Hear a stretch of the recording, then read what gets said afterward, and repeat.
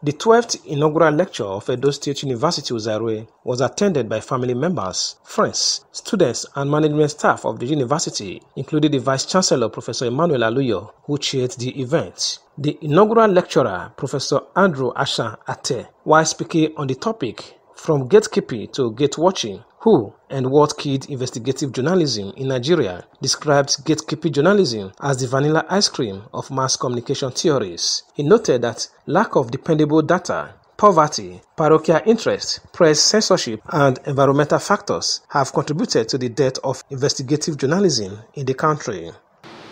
That technology has taken over and collapsed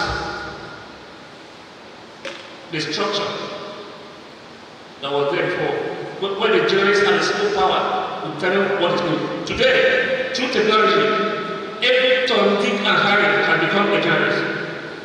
Professor Andrew Asan Ate urged media professionals to toe the line of social responsibility model, which places high premium on the moral and social responsibility of the people, as well as advise Nigerian media owners to build their media empires in public service journalism approach and should not sacrifice the good of the society for their political and economic interests.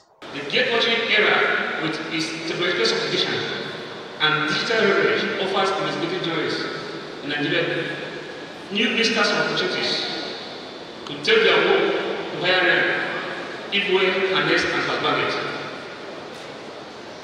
It is expedient for all stakeholders in the Nigerian media ecosystem to invest in soft and hardware technologies that will allow or make easier the job of investigative journalists.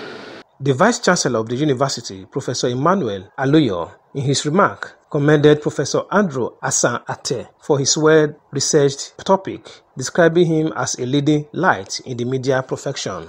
This series of inaugural lectures represent the diverse and wide-ranging expertise that Edo State University Uzairue is proud to house within its academic walls. It highlights the importance of interdisciplinary collaboration and encourages us to explore the intersections of different fields to find solutions to complex challenges. There were goodwill messages from friends and well-wishers. The Vice Chancellor, Professor Emmanuel Aluyor, later decorated the inaugural lecturer, Professor Andrew Asan Ate, and admitted him into the League of Inaugural Lecturers of the university.